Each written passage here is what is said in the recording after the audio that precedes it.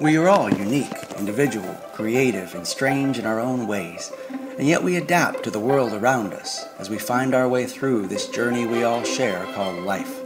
Come be a part of its expression as the labyrinth of the unbroken path makes its way to the Harvey Milk Festival in Five Points Park on Saturday, May 17th, and at the Tea House in the downtown village through Saturday, May 24th. May it guide us to the place where all colors run into one.